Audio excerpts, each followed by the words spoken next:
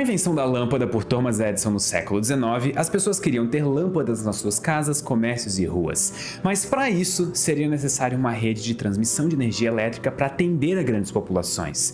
Até porque cada pessoa ter um gerador em casa seria bem inviável. Ainda é hoje 2023. Em 1882, Edison inaugurou a Pure Street Station, que foi a primeira estação de energia elétrica do mundo. Ela tinha capacidade para gerar energia elétrica suficiente para acender mais de 3 mil lâmpadas em Nova York. E ele optou por utilizar corrente contínua. Talvez isso não soe estranho para vocês até eu complementar isso com outro fato. Atualmente, na produção e transmissão de energia, nós não usamos a corrente contínua, e sim corrente alternada. E o mais só que com o avanço da tecnologia, isso tem mudado. Cada vez mais as correntes contínuas têm ganho espaço nos leilões de transmissão. No fim desse ano, nós teremos um leilão gigantesco com uma linha muito grande de corrente contínua. Pode ser uma tendência. E por que, que isso pode ser uma tendência? As linhas de corrente contínua elas podem ser vantajosas quando o percurso a ser percorrido é muito longo. Então, deixa eu explicar aqui como que funciona, a gente já volta para o vídeo lá, tá? Então, nós temos aqui é, hoje a geração de energia, beleza? Gera energia, e aí ela vai e eleva a tensão. Por que, que eleva a tensão? Porque se ela fosse ser transmitida, por exemplo, a 220, seria impossível, porque quanto menor a tensão, maior a corrente. Quanto maior a corrente, maior a grossura do fio, a bitola vai ser gigantesca. Então não tem como, eles elevam essa tensão, transmite por percursos relativamente longos ou de repente muito longos, que é o caso que as correntes contínuas vão ganhar, já vou explicar. Então vai, transmite, aí chega aí próximo da, do destino final, ele abaixa a tensão na subestação abaixadora e aí vai para para as distribuidoras de energia que vão levar lá para as residências posteriormente.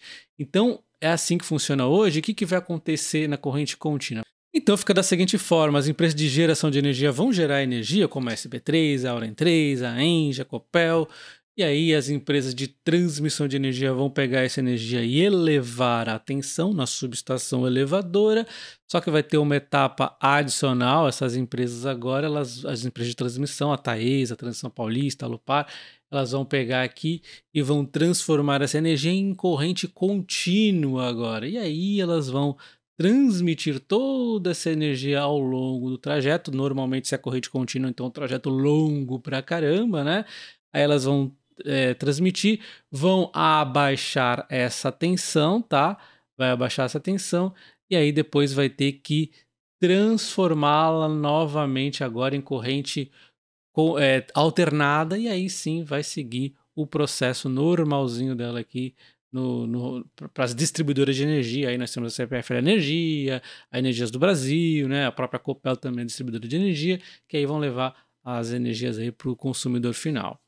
E o mais interessante é que a corrente alternada virou o padrão porque Edison perdeu uma batalha contra outras duas pessoas, Nikola Tesla e George Westinghouse. Então por que Edison defendia o uso da corrente contínua? Porque era vantajoso para ele. A resposta é que a maioria dos geradores e patentes desenvolvidos por eles usavam corrente contínua para funcionar, então faz sentido ele usar corrente contínua. Além disso, a corrente alternada precisa de uma voltagem mais alta para ser gerada e transmitida, o que pode ser argumentado que torna ela mais perigosa do que corrente contínua. Por outro lado, Tesla e Westinghouse defendiam a corrente alternada porque ela possibilitava a distribuição de energia elétrica em longas distâncias, o que era uma grande desvantagem da corrente contínua. E esse episódio de batalha entre as ideias de Edison contra as ideias de Tesla e Westinghouse foi chamado de a Guerra das Correntes. Antes de seguir com a história, eu só preciso relembrar o que é corrente contínua e alternada. Uma corrente elétrica é o fluxo de cargas elétricas que acontece no interior de diferentes materiais, e ela surge por causa de uma diferença de potencial. Corrente contínua é todo tipo de corrente que, quando percorrida em um circuito, não altera o seu sentido de circulação. Não importa se a corrente varia de intensidade, para saber se ela é contínua, nós apenas levamos em conta se ela passou de positivo para negativo e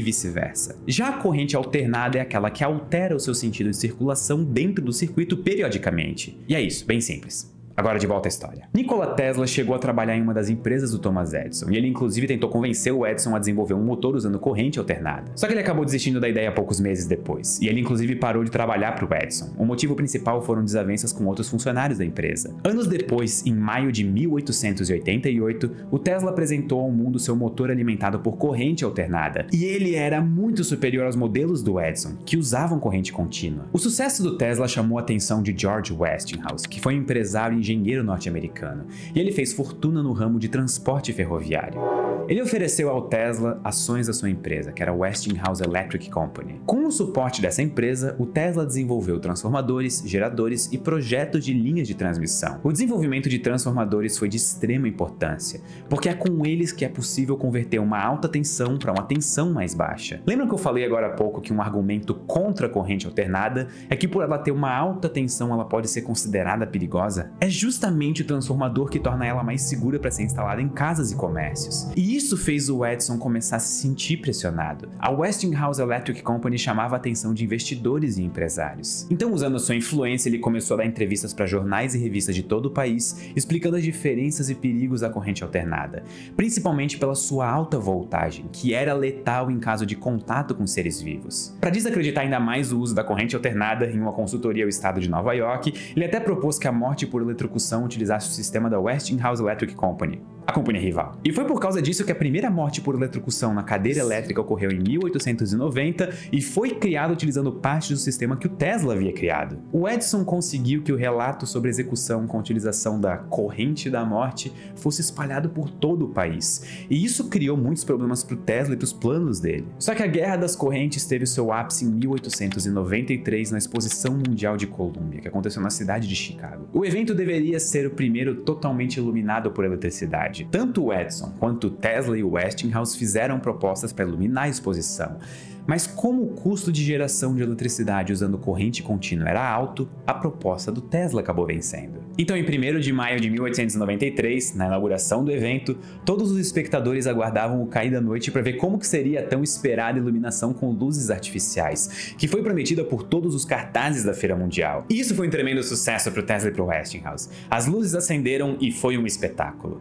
Eles conseguiram provar que a tecnologia usando corrente alternada podia ser utilizada em grande escala e que ela era mais barata e muito mais avançada do que o sistema do Edison. O Edison perdeu a guerra das correntes, mas eu acho importante lembrar que ele ainda é Thomas Edison. Ele pode até ter perdido essa disputa, mas ele continua na história como um inventor empresário, além de um visionário. E mais um ponto que eu preciso deixar nesse vídeo. A corrente contínua continua sendo utilizada. Ela só perdeu a disputa para produção e transmissão de energia elétrica. Existem diversas aplicações para corrente contínua, como por exemplo, carregamento de baterias, controle de acionamentos na indústria e aplicações automotivas. Outro ponto é que atualmente o uso de corrente contínua para transmissão de energia elétrica vem aumentando, principalmente porque painéis solares produzem energia elétrica contínua. Além disso, a tecnologia evoluiu muito, permitindo diminuir um pouco a diferença entre o custo de produzir corrente contínua e corrente alternada. Mas eu gosto muito como esse vídeo é uma prova de que algo que nós usamos todos os dias não foi decidido por acaso. Envolveu muito esforço e até algumas tentativas de manchar a reputação dos oponentes.